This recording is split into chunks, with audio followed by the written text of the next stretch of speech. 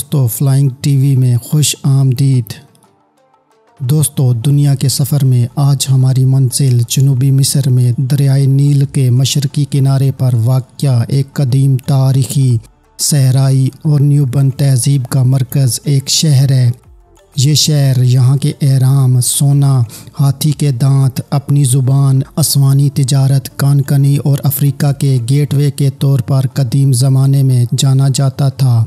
ये शहर मिस्र के दारुल हुकूमत काहिरा से तकरीबन 680 किलोमीटर जनूब में वाक़ है। इस शहर की आबादी तकरीबन एक इशारिया पाँच मिलियन अफराद पर मुश्तमिल है। इस शहर का नाम असवान है। यहाँ की अक्सरती आबादी मुसलमान है, जो सुन्नी मुस्लिम अकीदे से ताल्लुक़ रखती है। जबकि अकलीत में ईसाई मज़हब के मानने वाले यहाँ पर आबाद हैं। उस्मान की एक कदीम तारीख है। यहाँ पर प्री हिस्टोरिक तौर से इंसानी आबादकारी के आसार मिलते हैं। ये शहर कदीम दौर में एक अहम तजारती चौकी और फौजी रसदगाह था, जो नूबिया और बर अफ्रीका के लिए एक अहम गेटवे हुआ करता था। ये एक अहम बंदरगाह हुआ करती थी, जहाँ से दरियाए नील पर तमाम बहरी जहाज़ों को कंट्रोल किया जा सकता था। स्वान ग्रेनाइट पत्थर का एक अहम ज़रिया था और ज़्यादातर मिस्री मज़ारात और यादगारें यहाँ से हासिल किए गए पत्थरों से तामीर की गई हैं। इसमें गज़ा के एहराम भी शामिल हैं। कदीम ज़माने में यहाँ पर सोना और हाथी के दांत फ़रोख्त होते थे, जो सोनों के नाम से जाना जाता है। ये वो तजारती मरकज़ था जहाँ नूबिया के काफ़लों का इस्तबाल किया जाता था। इसवान की माशियत का इसार ज़रात पर है। ख़ास तौर पर दरियाए नील के किनारे खजूर, सब्ज़ियाँ और दीगर फ़सलों की काश्त। यहाँ की सियात एक अहम सनत है, जहाँ पर स्याह असवान के आसार कदीमा के मकाम कुदरती मनाजिर और कदीम सकाफ़त से लुफानंदोज़ होते हैं।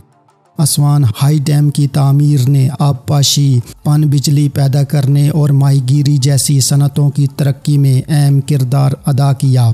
असवान हाई डैम जो 1970 में मुकम्मल हुआ। ये डैम दरियाए नील के बहाव को कंट्रोल करने के लिए तामीर किया गया था।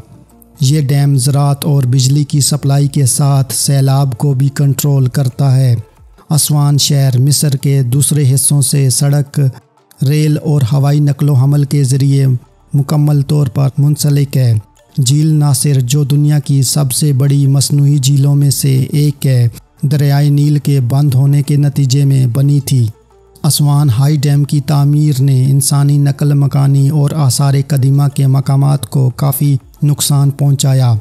इस खत्े में माहौलियाती चैलेंजेस जैसे कि पानी की कमी और सहराई इलाकों में मुसलसल इजाफा है। डैम की तामीर में 10 साल लगे और ये 1970 में मुकम्मल हुआ।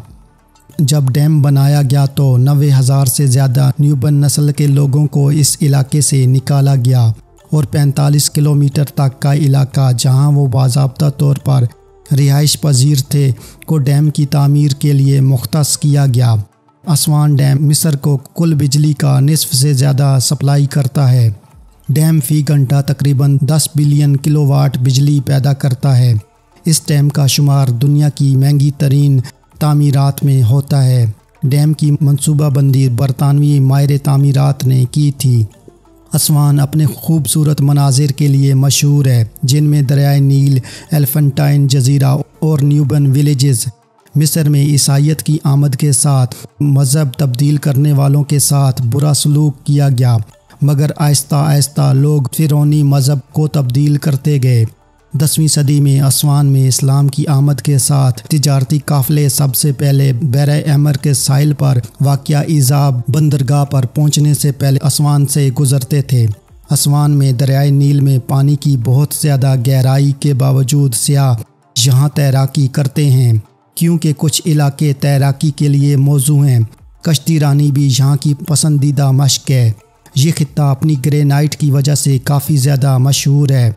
जहाँ से कई कदीम मिस्री यादगारों में इस्तेमाल होने वाला पत्थर हासिल किया गया।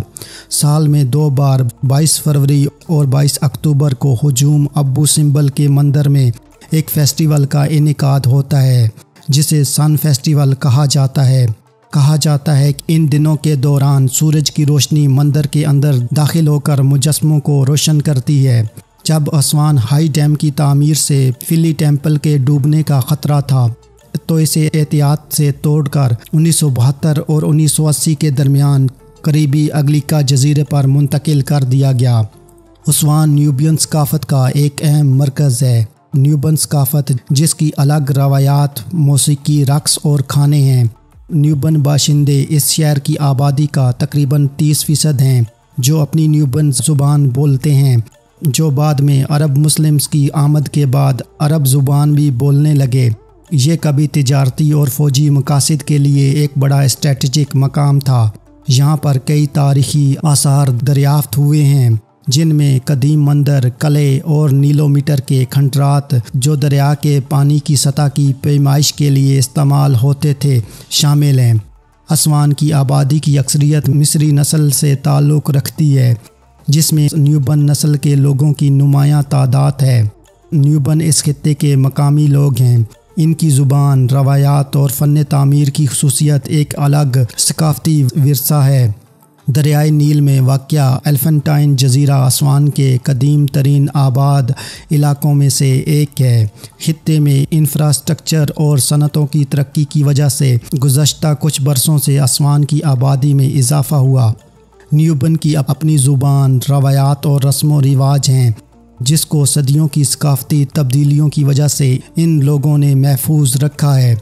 आसमान के मुख्तलिफ़ मजहबी ग्रोह और नस्लों के लोग हर एक का अपना अलग तर्ज ज़िंदगी है। आसमान के लोग अपनी गर्म जोशी और मेहमान नवाजी के लिए जाने जाते हैं। आसमान की एक भरपूर तारीख है, जो हज़ारों सालों पर मोहित है। जो दरियाए नील के साथ इसके स्ट्रेटजिक मकाम तजारत, सकाफ़त और तहजीब के मरकज़ के तौर पर इसकी अहमियत में इजाफ़ा करते हैं। फ़िरौनी दौर के दौरान असवान, तजारत, कानकनी और खुदाई के मरकज़ के तौर पर जाना जाता था। शहर की ग्रेनाइट की कानों ने वो पत्थर फ्राम किया जो बहुत से कदीम मिस्री यादगारों की तमीर में इस्तेमाल होता था। आसमान मंदिरों और कलों का घर है। आसमान दरियाए नील के तीन सियाती शहरों में से एक है। बाकी दो लक्सर और कायरा हैं। ये अफ्रीका के बाकी हिस्सों का कदीम लिंक था। ये न्यूबिया के ख़िलाफ़ फौजी अड्डा भी था। इससे पहले इस शहर को सोनीट कहा जाता था जिसका नाम यूनानी देवी एलिथिया के नाम पर रखा गया था। ये मिस्र का सबसे जनूबी कस्बा हुआ करता था और ये उस, उस ज़माने में एक स्ट्रेटजिक फ़ौजी अड्डा समझा जाता था। आसमान डैम दरियाए नील पर बनाया गया है जो दुनिया का सबसे तवील दरिया है। आसमान डैम की लंबाई 11,811 फीट और ऊंचाई तीन फीट है और इस डैम की बुनियाद की पैमाइश 3,215 फीट है। चौथी सदी कबलज मसीह में बतलीमूस ने जब मिस्र पर हुक्मरानी शुरू की मकामी मिस्रियों को खुश करने के लिए मंदिर और ओसरिस और आइसिस की इबादत शुरू की। उसके बाद रूमियों ने भी इस मजहबी अमल को जारी रखा। रूमी शहनशाह ट्रेजन ने फ्लाई टेंपल के अंदर एक छोटा मंदिर बनाया, जो आइसिस के लिए वक्फ था। असमान ने न्यूबन सल्तनतों की तारीख में एक अहम किरदार अदा किया, जो मिस्र के जनूबी इलाके में मौजूद थी। ये यूनानी और रूमी अदवार के दौरान एक अहम मरकज़ के तौर पर मौजूद था। ये शहर क्लासिकी कदीम दौर में साइन के नाम से जाना जाता था। ये तजारती नेटवर्क्स में एक अहम चौकी थी, जिसने मिस्र को बैर रोम की दुनिया से जोड़ रखा था। सातवीं सदी में इस्लाम के फैलाव के साथ आसमान इस्लामी दुनिया का हिस्सा बन गया। शहर में कई मसाजिद, मदारस और दीगर इस्लामी यादगारें तामीर की गईं। आसमान ने न्यूबिया में इस्लाम के फैलाव में किरदार अदा किया। उन्नीसवीं और बीसवीं सदी के अवाइल में आसमान मिस्र में यूरोपी नो आबादियाती का मरकज़ बन गया। उन्नीसवीं सदी के आखिर में आसमान डैम की तामीर ने शहर की जदीद तारीख और तरक्की में एक अहम किरदार अदा किया, जिसके नतीजे में आबपाशी और ज़रात में इजाफ़ा देखने को मिला। अपनी तवील तारीख के दौरान आसमान कई सकाफ़तों और तहजीबों का संगम रहा।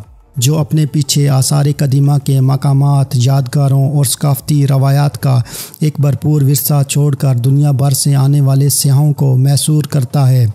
दोस्तों, आज की मेरी ये वीडियो मिस्र के एक खूबसूरत और तारीखी शहर असवान के बारे में थी। उम्मीद है कि आपको ये वीडियो पसंद आई होगी। इस वीडियो को अपने दोस्तों के साथ फेसबुक ट्विटर और व्हाट्सएप पर शेयर करने के अलावा चैनल पर नए आने वाले सभी दोस्तों से गुजारिश है कि वो यूट्यूब पर हमारा चैनल फ्लाइंग टीवी सब्सक्राइब कर लें और साथ दिया गया घंटी का बटन दबा दें ताकि आपको हमारी आने वाली तमाम वीडियोस के नोटिफिकेशन मिलते रहें। शुक्रिया।